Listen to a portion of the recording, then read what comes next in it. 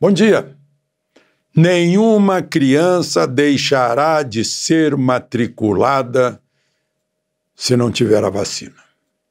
A vacina não será impedimento para uma criança entrar na escola. A vacina a que eu me refiro é a da Covid. Eu não sei se é a da Pfizer, que aí. Bom, mas, enfim, temos vacinas experimentais aí, temos que recomendar aos pais que leiam as bulas das vacinas para tomarem a decisão. E temos que pedir que as autoridades brasileiras examinem todos os resultados científicos, as conclusões que estão sendo tiradas dessa novidade, que é a vacina contra a Covid-19. Eu disse isso porque disseram a secretária de Saúde do Rio Grande do Sul, do governo do Rio Grande do Sul, é,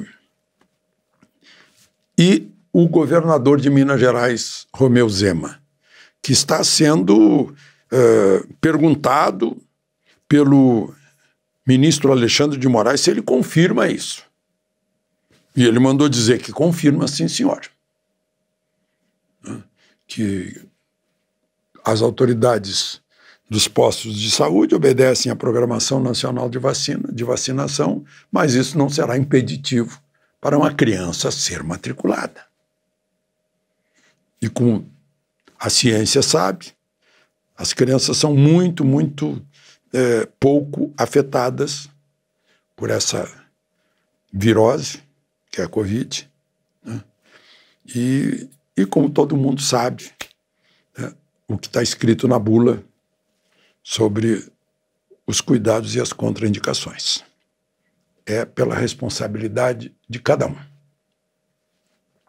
Bom, é, o ministro Luiz Fux, como relator, quebrou o sigilo bancário e fiscal do deputado André Janones, de Minas Gerais, do Avante, para investigar uma, um inquérito sobre Raf, rachadinha no gabinete dele eh, na Câmara Federal.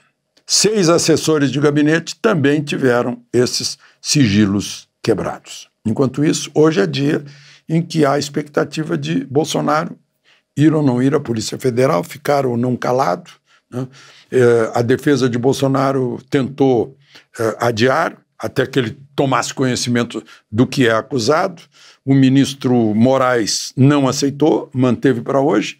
E, e, a defesa recorreu ao presidente do Supremo, o ministro Barroso, para afastar Moraes do inquérito, a, alegando é, impedimento, já que se trata de uma relação entre vítima e julgador, ou vice-versa, entre pessoas que têm desavenças, né? claramente há desavenças entre Bolsonaro e, e Moraes, né, já chamou Moraes de, até de canalha né, em discursos, mas Barroso alegou que não houve uma clara demonstração de causa do impedimento.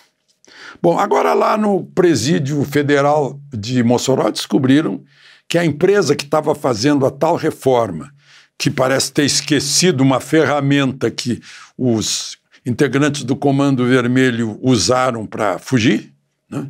É, é, era de laranja, era algum, tinha alguma irregularidade no contrato. Né? É, então, as coisas são tá, têm que ser investigadas. Enquanto isso, no presídio estadual do Piauí, de onde fugiram 17, a polícia do Piauí já recuperou quatro, já recapturou quatro. Né? Os dois que fugiram lá ainda estão foragidos e está todo mundo envolvido, nas, as autoridades federais e não conseguem encontrar né, o, esses que, que fugiram. Foi uma goleada a proibição, a extinção da, racha, da, da saidinha.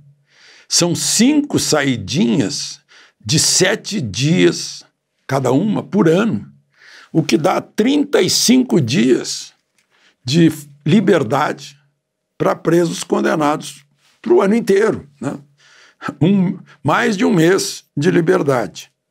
E foi 62 a 2 a votação no Senado. Só o deputado do PT de Sergipe, ah, perdão, o senador eh, do PT de Sergipe, Rogério Carvalho, e o senador Cid Gomes, do Ceará, do PDT, votaram a favor dos presos, né, a favor da saidinha. Mas voltou para a Câmara, onde foi aprovado por o projeto por 311 votos, porque houve uma modificação, então tem que voltar. Mas o presidente da Câmara, Arthur Lira, já sinalizou que não vai haver impedimento de aprovar logo esse, esse projeto, que vai para as mãos do presidente da República, que vai ter que decidir entre sancionar e vetar. De Brasília, Alexandre Garcia.